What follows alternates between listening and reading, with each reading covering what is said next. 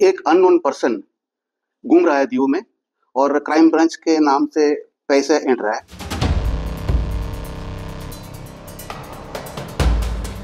દીવના મલાલા વિસ્તારમાંથી પકડાયેલા આ બે આરોપીઓને ક્રાઇમ બ્રાન્ચ છેલ્લા ઘણા સમયથી શોધી રહી હતી તેઓ નકલી પોલીસ બનીને લોકો પાસેથી રૂપિયા પડાવતા હતા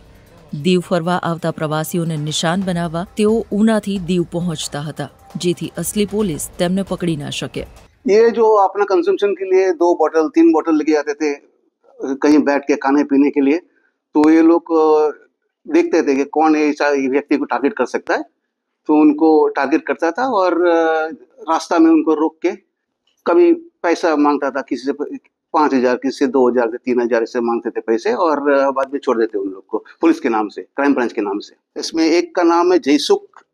पुंजा भाई धाबी। ये सीमर का रहने वाला है। गिर सोमनाथ एरिया ऊना का है और दूसरा है रमेश भाई कालू भाई राठौड़ जो कि ये भी ऊना का ही रहने वाला है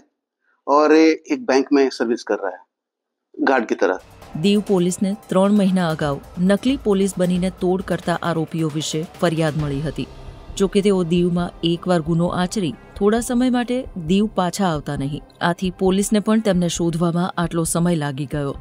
આખરે દીવ પોલીસને એક બાતમી મળી જેના આધારે તપાસ કરતા તેઓ પકડાઈ ગયા હતા एक अननोन पर्सन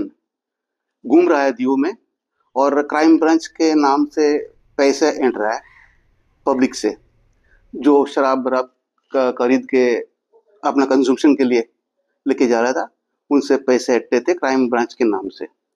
तो तीन महीने से हम इनके पीछे लगे थे कल एक ऐसा दिन था कि हम उनको ट्रेस करके लेके आए उन्हें कबूल किया है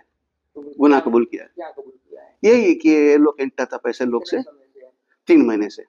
अंदाजित कितने लोगों को इसमें करीबन अ, सात से आठ लोग को નકલી પોલીસ બનીને રૂપિયા પડાવનારા બંને આરોપીઓ વિરુદ્ધ પોલીસે અલગ અલગ કલમો લગાવી છે અને હાલ તેમણે આચરેલા ગુનાઓ વિશે તપાસ ચાલી રહી છે